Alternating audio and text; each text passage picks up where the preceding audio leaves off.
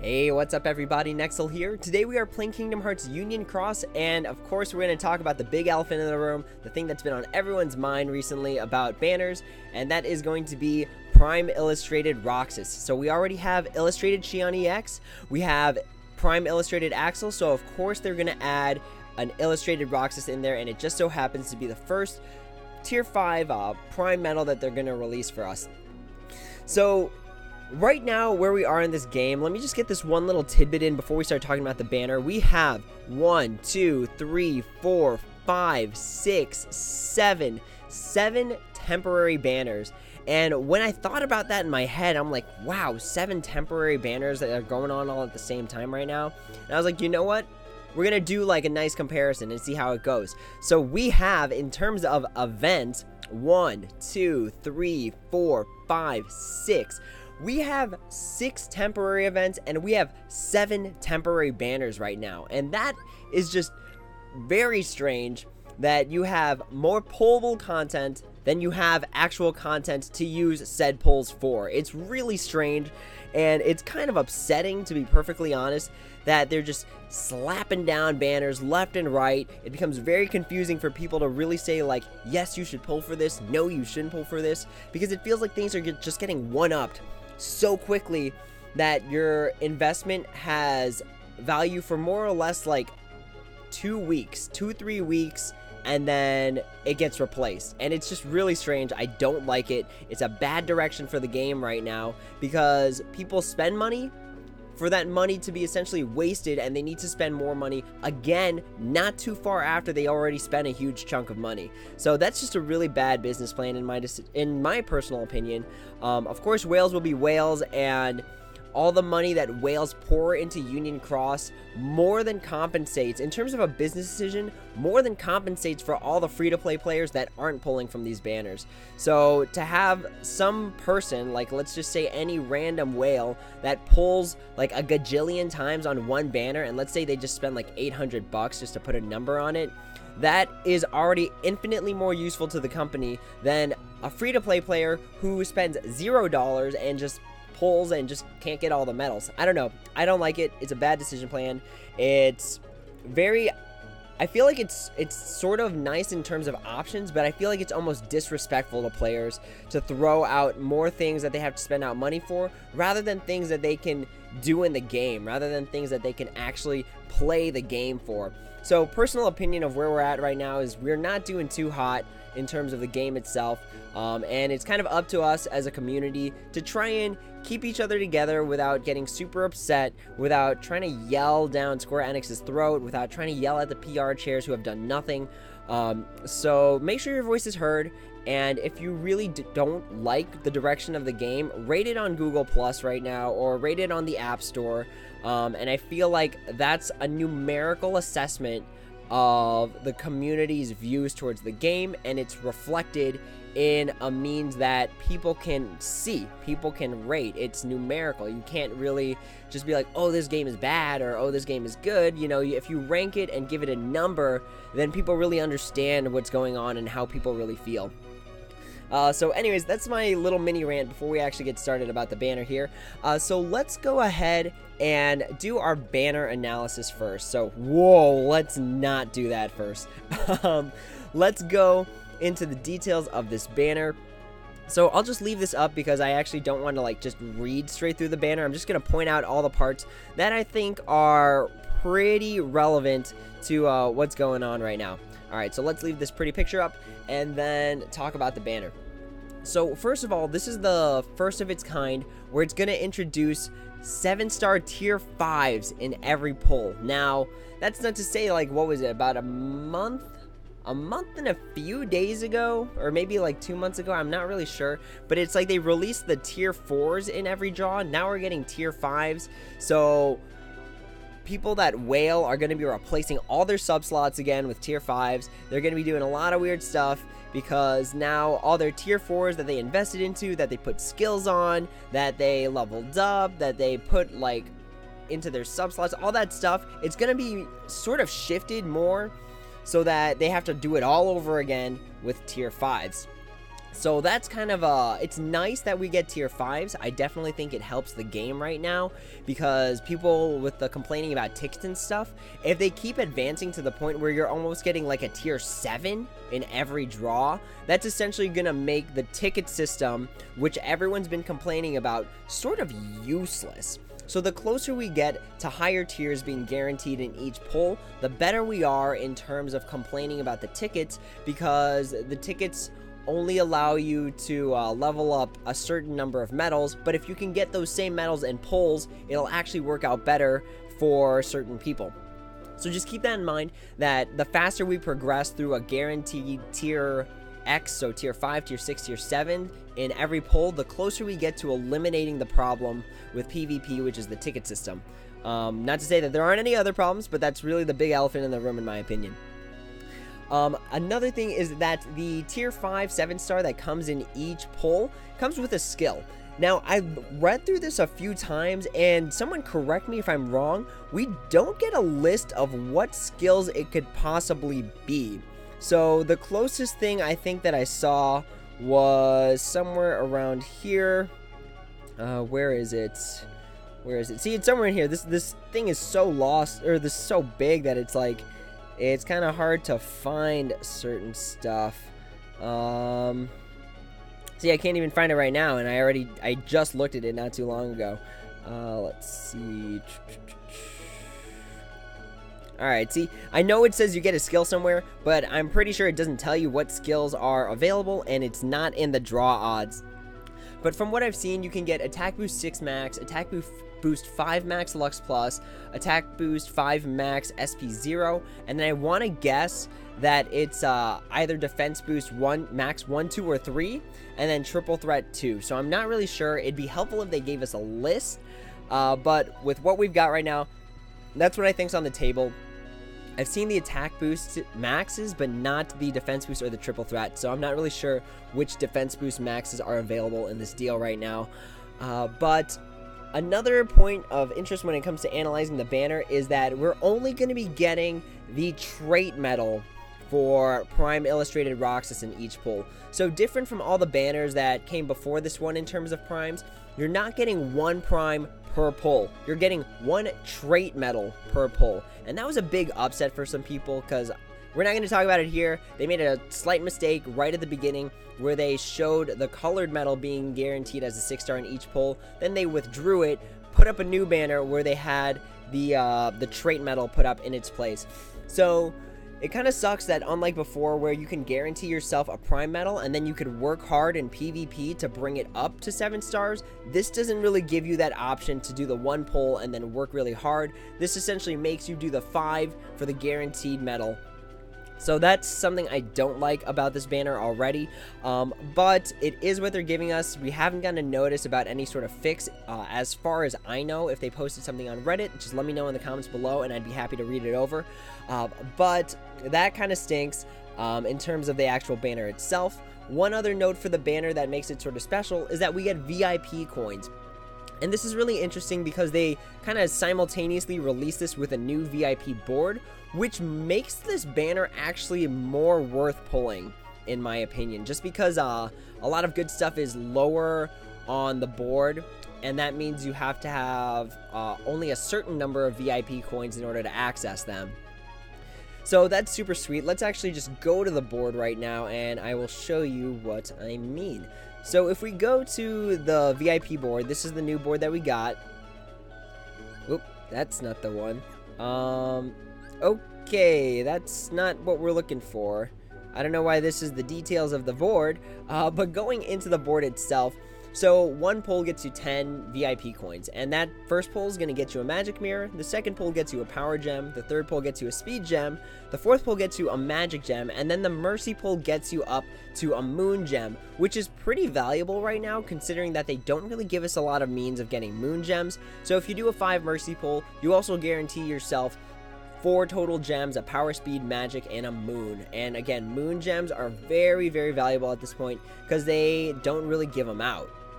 So that's super important to know that this banner sort of pairs with the VIP board itself.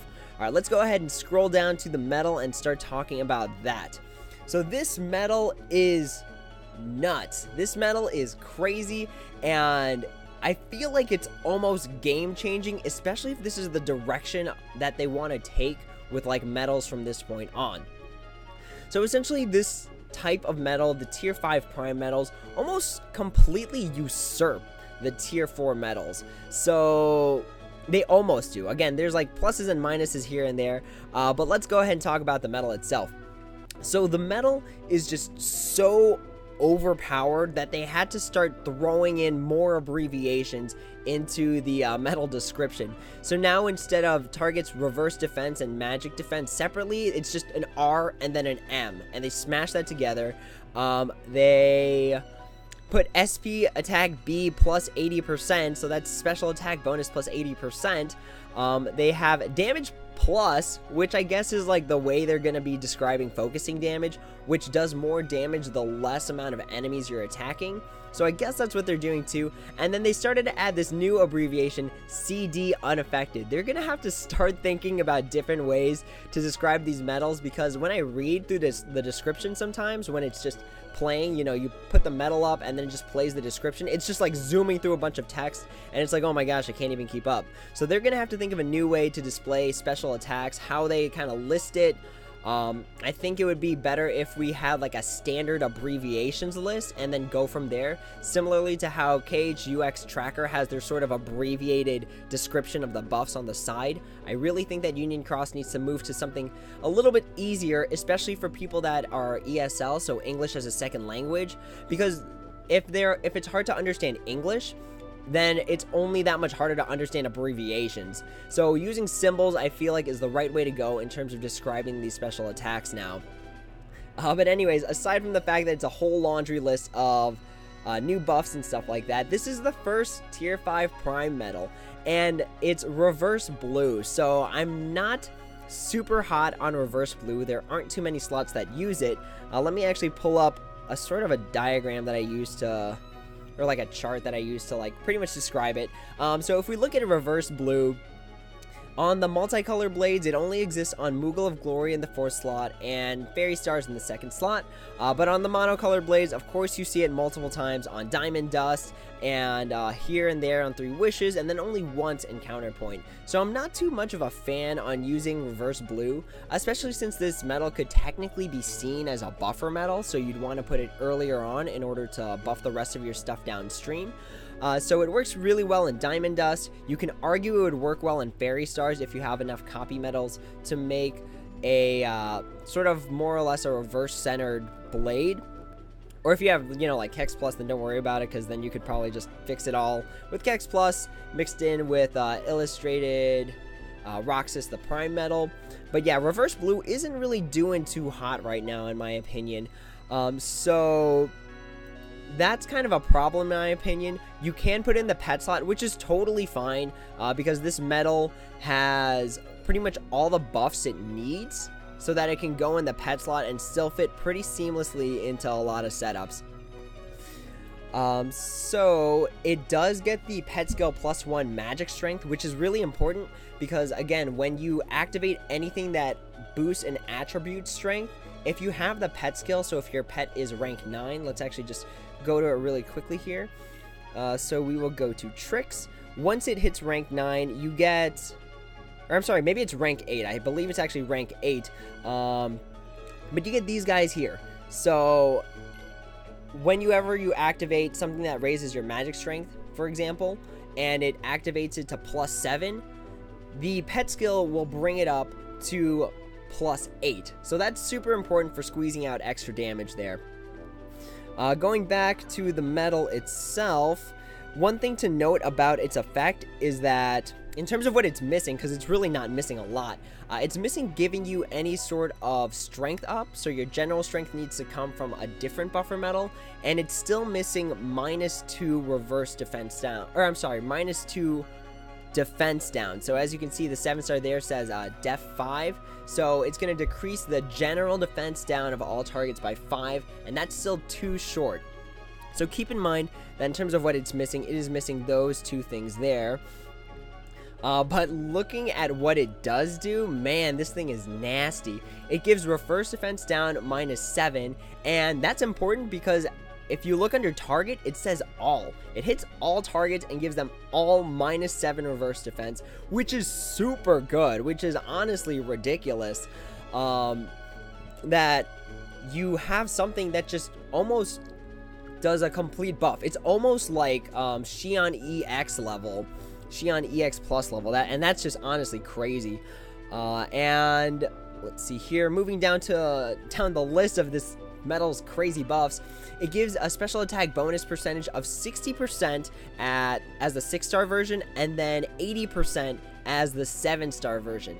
That is huge. Plus 60% is a lot already. And then when you bring it up to a 7 star, it get it becomes plus 80%.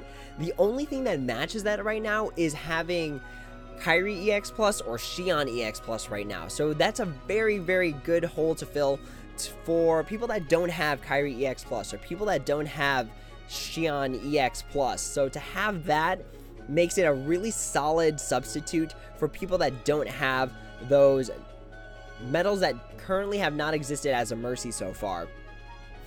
Um, going down the laundry list again, it restores gauges plus three. So it just says gauge plus three, uh, but it restores gauges plus three. So you have to have the six to activate it. So under gauge cost, it's six.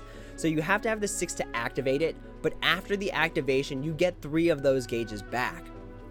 So it's sort of like also a healing medal. And if you slap an SP 0 skill on this thing, so let's say you get attack boost 7 max SP 0, and then this medal has extra attack as a trait on it, you're effectively healing plus 6 gauges in one turn. So that already helps with some gauge restoring, especially when it comes to PvP, and you need to pay attention to your gauge restoring.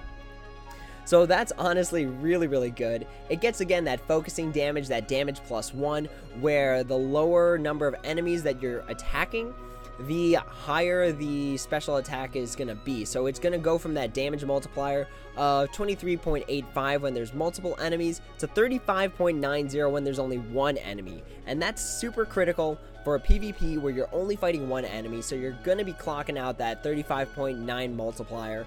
And that's a lot of damage. That is a crazy amount of damage. Um, so it's honestly after going through all that stuff, and then the countdown's unaffected. Oh my gosh, that's the last part of it. Countdown unaffected. So if you put this towards the beginning of your blade, you don't have to worry about its buffs like decreasing the enemy countdown because it leaves it unaffected. Similarly to how the foretellers, whenever you use their special attack, left the countdown unaffected. So there's very, very little reason to not proc this medal every single time that you have the opportunity to. There's very little downside. The enemies are not going to revenge counter you. It gives you a whole slew of buffs. It hits all enemies. SP attack bonus up. Like, that is crazy. This medal has so many buffs that it's almost unfair. Um, so, let's see. What else do we want to talk about in terms of this medal? Um, it's a solid option all around for any sort of scenario. PvP, it gets that 35.9%, 35.9 uh, damage multiplier, and it's a buff medal. So even if you get the six star version, you're still getting a whole slew of buffs. So even if you don't have the seven star version, you're not using it to clock out damage. You only have the six star version. You put it towards the beginning of the blade, bam, instant buffs. Like that's a lot going on for this medal right here. And it's really crazy that they drop something on this or drop something on us like this. All right, let's move to the draw odds. So a few things that you should know about the draw odds here is that you can still pull the six star version of it. So let's go ahead and move down to the six stars. These are all the seven stars you could pull. Here's the six stars. Okay, moving to the top because they usually put at the top. All right, for Prime Illustrated Roxas, it's a 0.06261% chance of pulling the uh, six star version, which is kind of funny because they say special attack boost zero, but it should be three. I believe they said it came three orbed in the original banner. Um, so that's a, in terms of chances, the chance of drawing one is one every 1,597 pulls. So that's a lot there. No one's going to do 1,597 pulls, uh, but just know that the option exists there. Moving down just even two slots, you can still get Kairi EX Plus and then Xion EX Plus in this banner. Uh, the chances of getting those, like at least one of them, so either Kairi EX Plus or Xion EX Plus, is to be one every 3,994 pulls. So if you get it from the pulls, uh, consider yourself extremely lucky.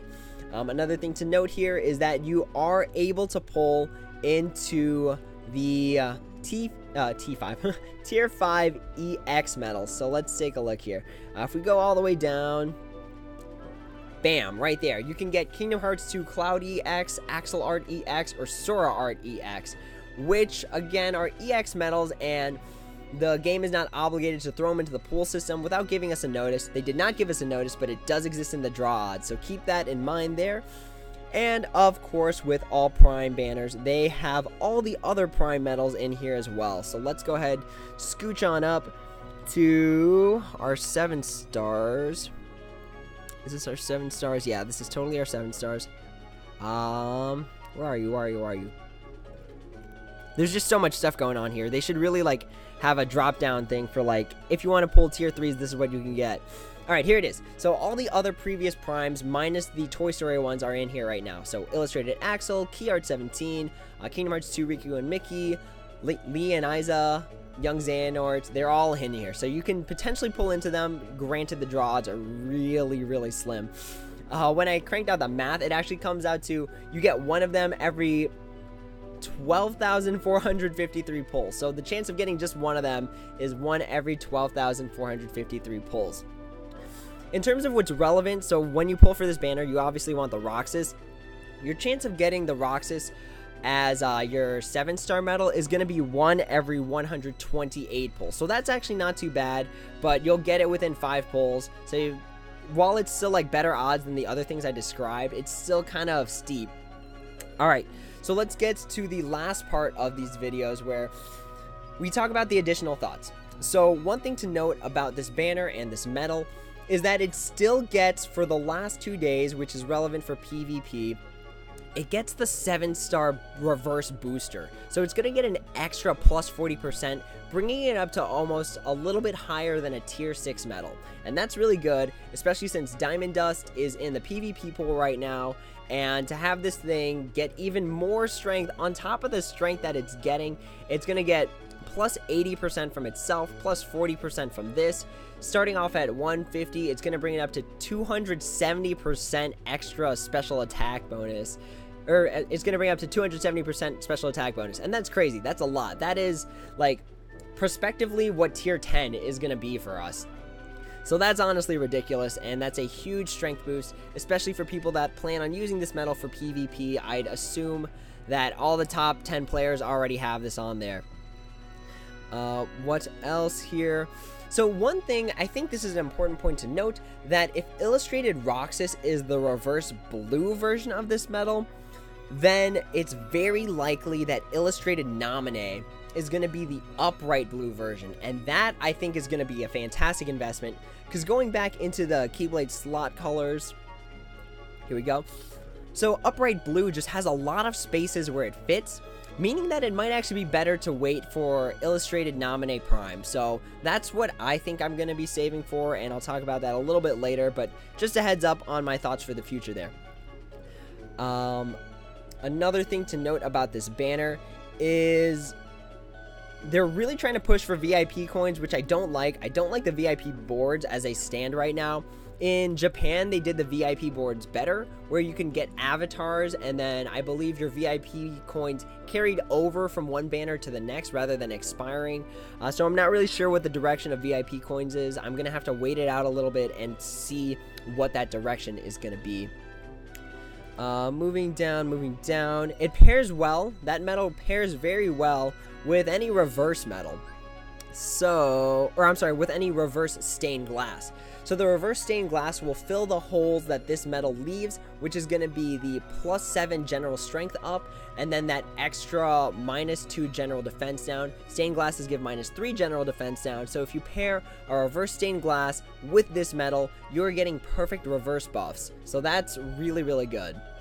And in two medals, too, that's honestly saying a lot. Um, moving on to the last part of my additional thoughts. I keep saying like moving on to like the last part, uh, but after this is the recommendation. So, moving on to the last part of my additional thoughts. This was honestly kind of a sloppy move, in my opinion, to release this medal so shortly with, or like so close to Prime Young Xehanort. Because Prime Young Xehanort's effect, if we go to it, is going to be uh, for two turns, increase reverse strength by three, strength by seven, speed strength by four, and then decrease targets reverse defense and speed defense by three and defense by four. So to put these two medals back to back is kind of like I don't really get it.